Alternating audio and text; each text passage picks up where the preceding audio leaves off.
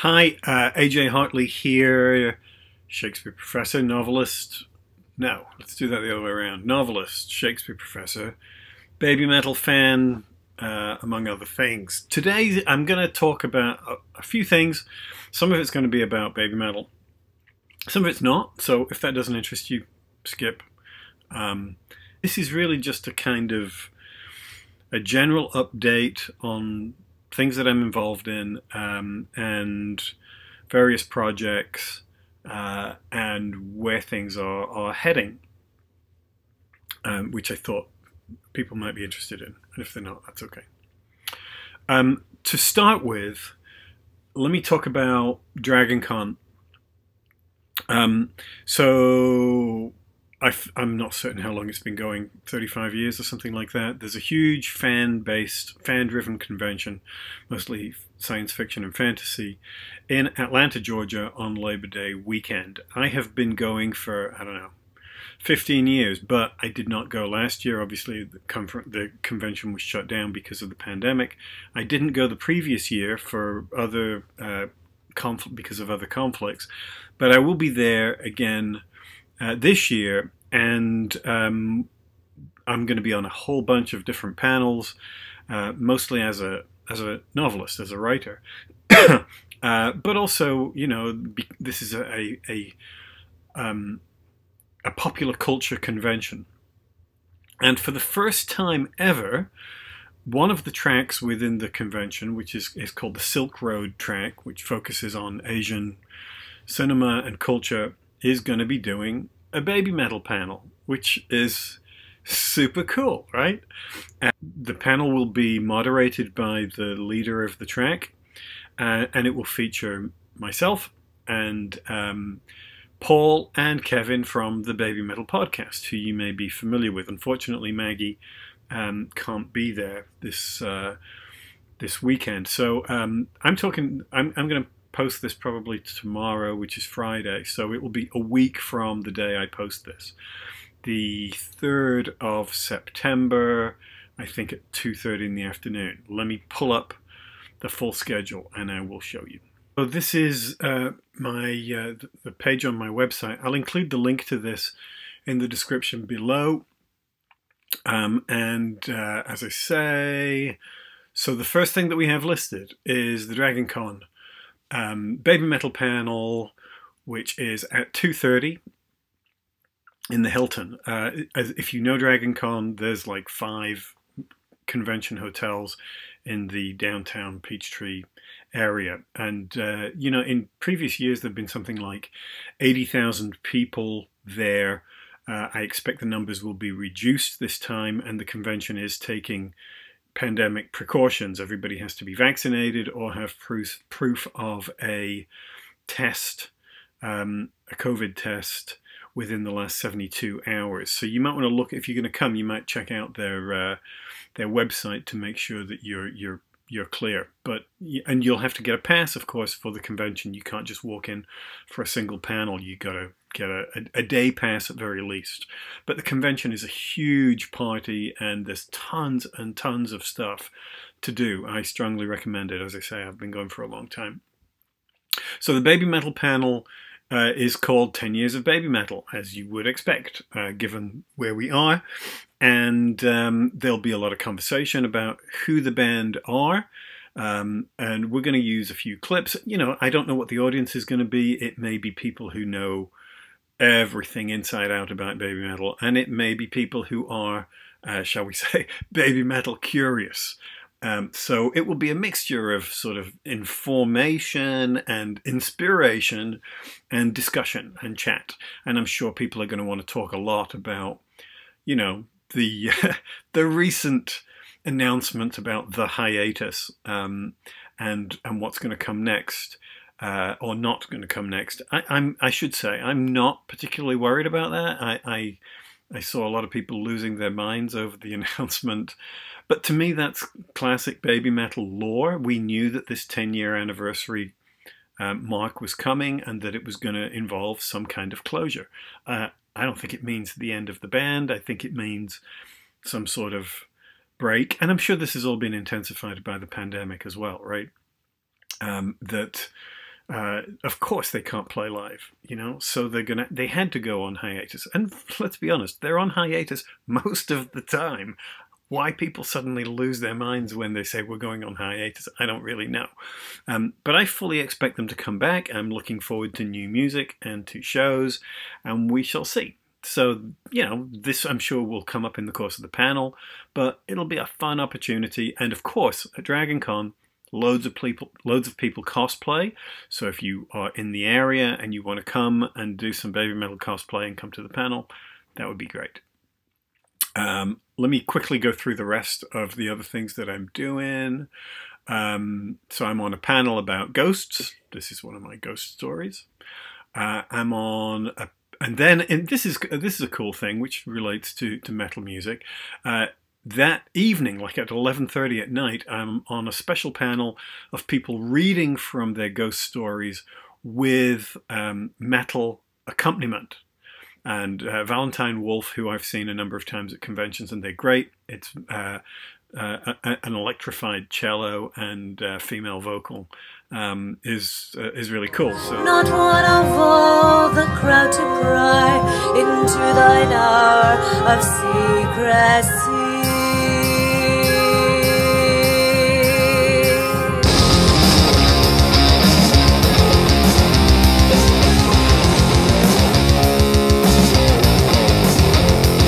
They're going to be accompanying me as I read a section of Cold Bath Street, which is uh, one of my the first of my ghost story series based in my hometown of Preston in Lancashire, set in the 1970s. This was the, the one that was uh, performed for audio by Christopher Eccleston, who is the ninth Doctor Who, and who is a fellow Lancashire lad, who I believe is going to be at DragonCon. I've, I emailed him the other day uh, but I have not heard back. He's listed as one of the guests, so I'm hoping that I'll get together with him at some point. We usually get together for a pint when we see each other, um, so that would be fun if he's there.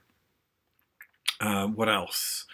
Um, so a lot of this stuff is going to be about writing. So in this case, this is one about um, whether to write a, a, series or a standalone novel. Um, and then I'm on a couple of alternate history panels. Uh, this one, you know, will be focusing on um, how writers construct alternate history, a, a version of, a fantasy which is grounded in a sort of tweaked version of, of real or historical events. So um, I'll be talking about that. Um, a, a panel on myth, magic, might mean mayhem. I, I didn't come up with this title, obviously. What's this about? Uh, oh, it's about researching myths and blending. I can't see properly. These glasses are rubbish for using the computer. Sorry. Um, but yeah, it's about uh, a, panel on the kind of world building where it involves magic systems and the logic of how your fantasy dimension works to make sure that your stories are consistent, that they they don't break their own rules, that they you don't paint yourself into a corner, you don't create uh, easy escapes for your uh, characters by using um, you know magical escapes of, of, one kind or another that aren't justified within the logic of the story. Um, panel on writing young adult novels.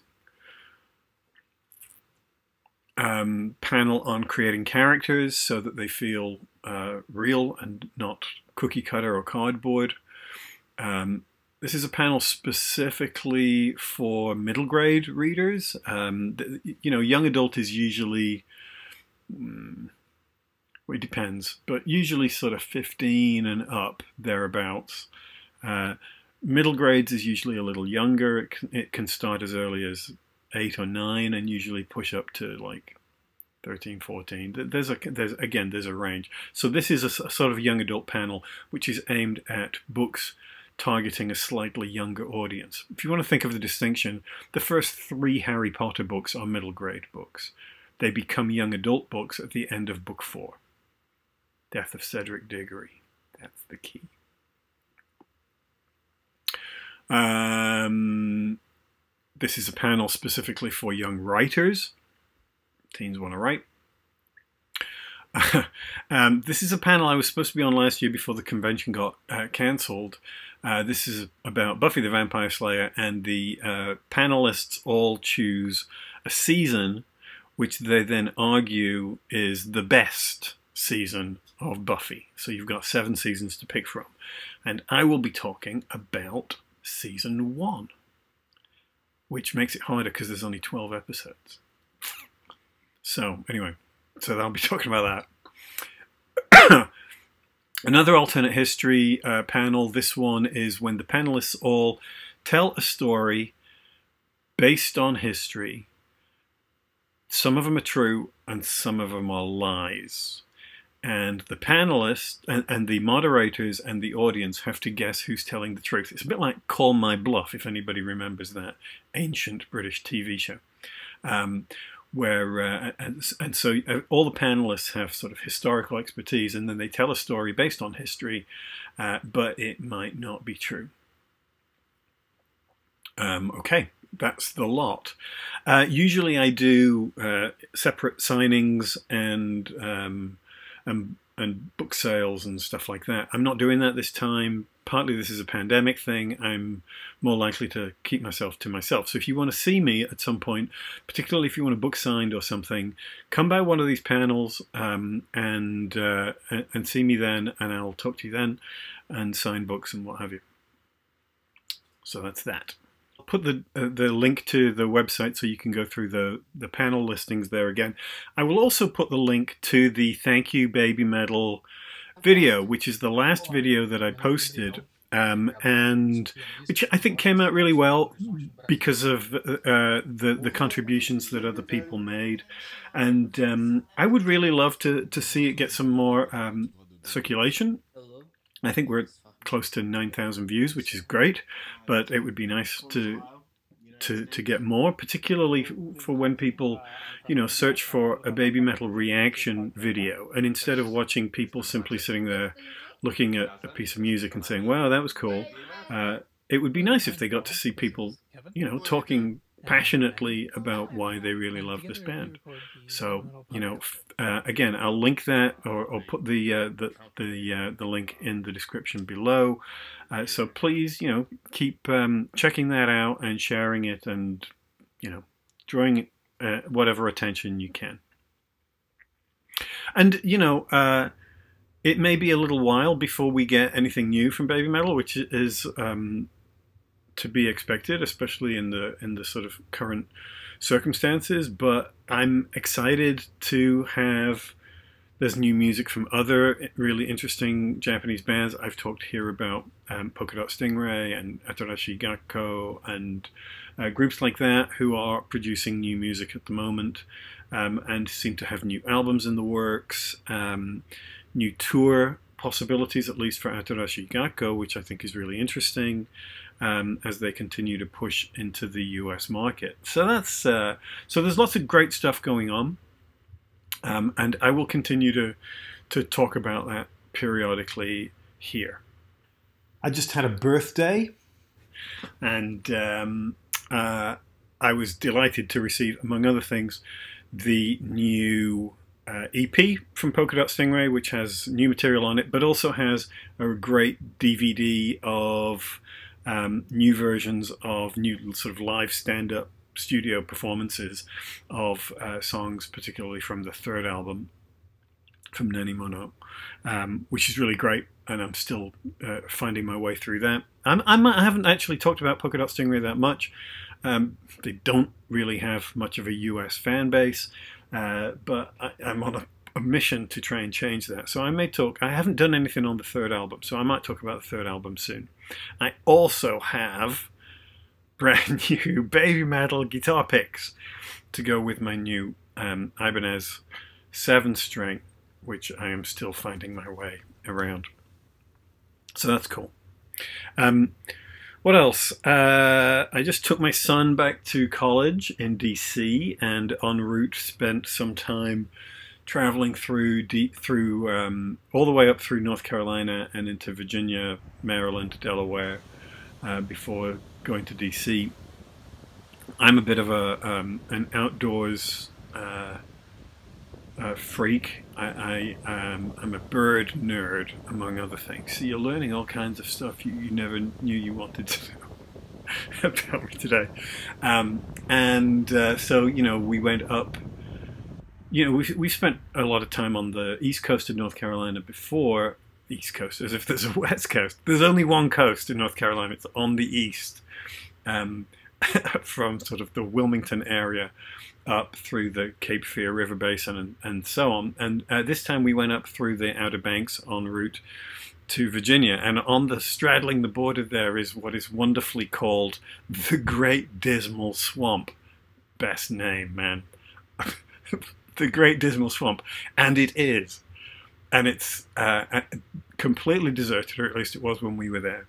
Uh, and wild and remote and beautiful and I have never been more eaten alive by mosquitoes in my life.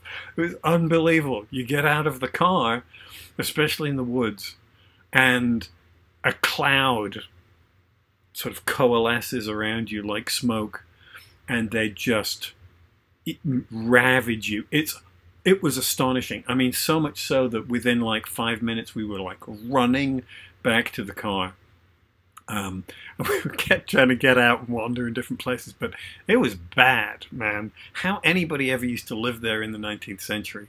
Imagine the um, Underground Railroad going through that area. It's just uh, astonishing, astonishing. But also, it's a beautiful area. And one of the things that really, um, and we, we saw a, a, bunch of lighthouses and such in that area along the coast.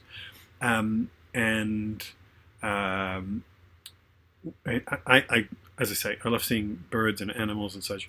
So otter, uh, mink. I saw a wild American mink, which I, I don't think I've ever seen before, um, and deer. I've some of the damnedest thing when you're going through that area, and you the sort of you're on this road, and it's the swamp is on either side of you, and the sort of bracken growing up around the side of the road, and you see deer, a group of deer and as you come closer to them, they would sort of melt into the bracken and vanish.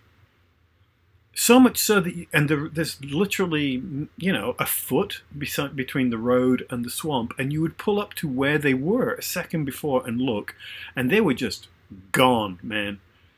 And and it makes you think, you know, I, I, I could totally believe especially for like more primitive cultures who you know pre-scientific cultures put it that way in in seeing these animals as sort of spirit creatures that just sort of melt into air. I'd never seen anything like it. It happened like four times. We'd see deer we'd pull up to them and they would vanish. There was nowhere for them to go right? Because there's just the swamp and you know a few little bits of grass and it's uh, absolutely astonishing. Tons of birds. You see a lot of uh, uh, great egrets and snowy egrets and uh, plovers of one kind or another uh, all along that area. But but one of the things I was most excited about was this is really hard to explain. This is a very British thing, right? When I grew up in the UK, I was a sort of amateur bird watcher, and practically all the boys I knew were. I lived in a you know, industrial working class town. And one of the great things about bird watching was that it was cheap. In other words, you looked out your window and you look, oh, look, there's a blackbird or a blue tit or a, you know, kestrel or whatever. So it was something that we kind of all did a little bit. And you go out on your bike and look at birds and things. I don't mean it was like super hardcore, but something that a lot of my friends in school uh, had some interest in. You know, I'm always a bit baffled when when people sort of have no concept of the birds and animals that live in their area, right? Because this is how I grew up. You know, even though it was an industrial town, uh, it wasn't that far from the from the countryside. You'd drive a little bit north into the Ribble Valley, up to Pendle or wherever. You know, um, and um, uh, so I had a poster over my bed growing up, every British bird, and I would study it every night, pretty much. You know, I was that kind of kid. Um, and up in the corner was what was officially considered Britain's rarest bird, which was the osprey. Osprey is a, a fish-eating hawk, very distinctive, you know. Um, beautiful, interesting bird with this sort of cranked wing, very pale uh, underneath, with the sort of brown oversight and the crest on the head. And I th- and at the time, as I was a kid, you know, there were one or two pairs in Scotland, fiercely protected. Um, after various sort of uh, problems with habitat loss and predation by collectors and, and, what have you. So, you know, there were images of these, like one tree with a nest in it, surrounded by barbed wire and, and so on, I remember. Ospreys have made something of a comeback in recent years, but they're still very, very rare in the UK. Um, and last time I was in Scotland, we made a special trip to go and see an osprey nest via a sort of remote camera, you know, and it's something that people do. Um, and it's funny because, you know, it, the ospreys were the bird that everybody wanted to see, and nobody ever did. Certainly not in in Lancashire. Um, and if anybody ever claimed to have seen an osprey, you knew they were lying. We all used to lie about the birds that we claimed to have seen, but nobody would ever say osprey because that was a dead giveaway that you were full of it, you know. Um, so an osprey was this impossible, remote, legendary bird for me growing up, you know, as it was, I think, for a lot of people. Um, so it was particularly strange to be driving along one of the long bridges connecting um, uh, North Carolina through Virginia and into um, uh, up into sort of the Maryland and Delaware areas, and there are a series of very long bridges. And on one of those bridges, I saw 12 osprey flying directly overhead or perched on, you know, lampposts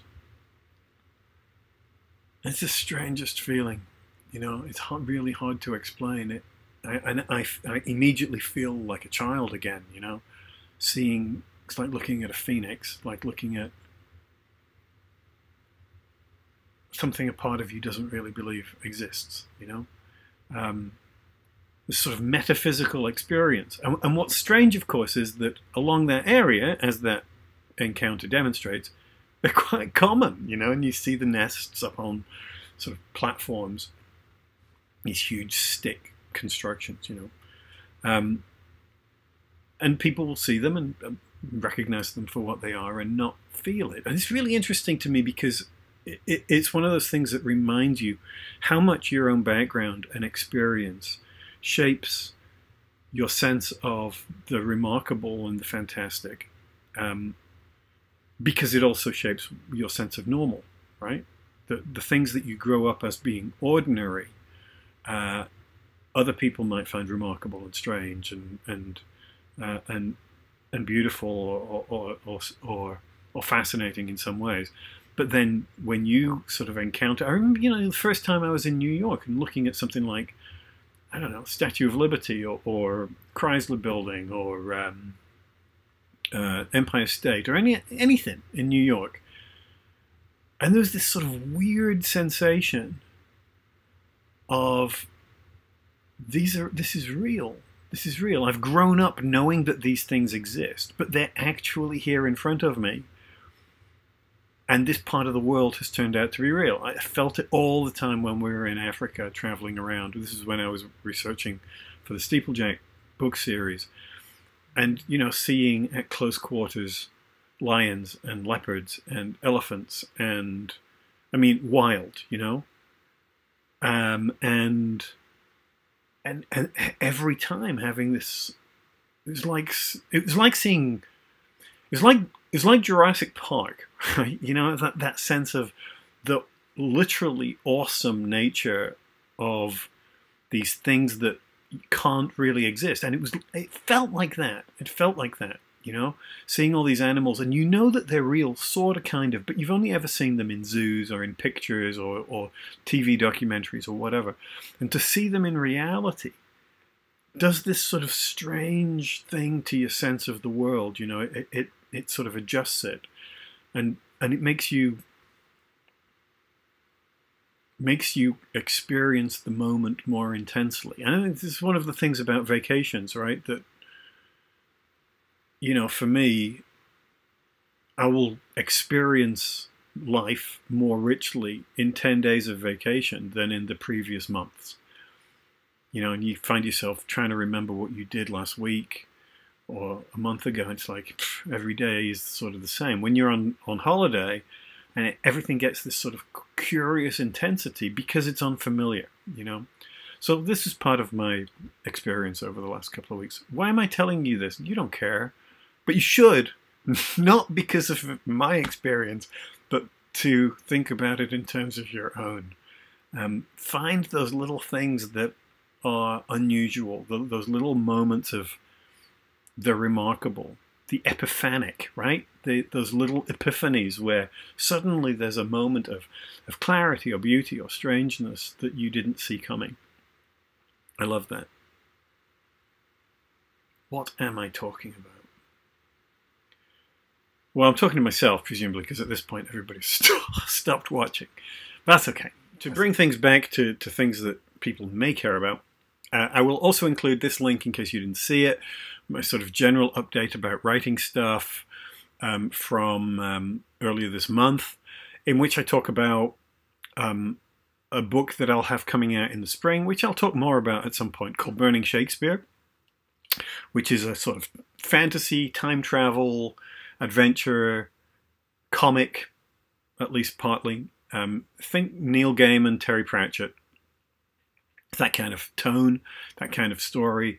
And the premise is it's a guy who, you know, uh, a, a, uni a, university administrator who hates Shakespeare so much that he sells his soul to the devil in order to go back in time and wipe him from history so that no one will ever read Shakespeare again.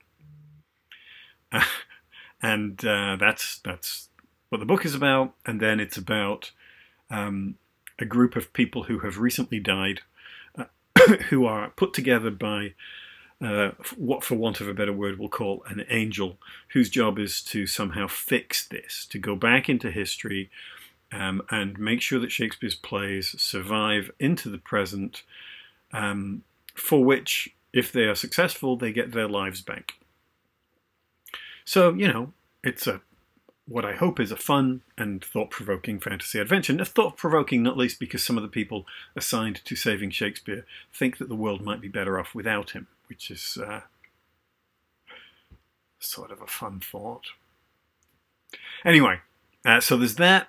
Uh, also, since uh, you know a lot of people watching this will have an interest in my sort of Japanese music and cultural stuff, I will say I have to be a little careful how much I say. I have a new book. It's actually something I've been working on for several years. In some ways, it's something I've been working on for way longer.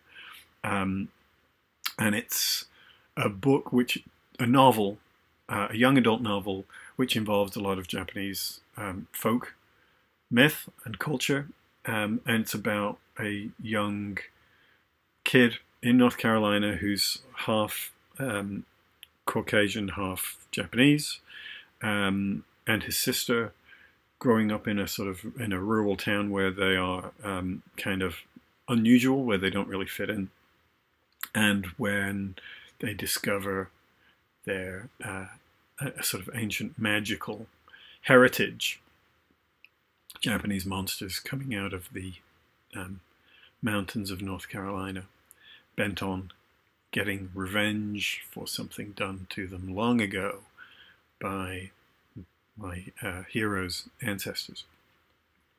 Um, this is a project uh, that has been in development for TV for a while um, along with the Steeplejack books, which are in development for animation. Um, this is a project which uh, has been we've been working on for about four years.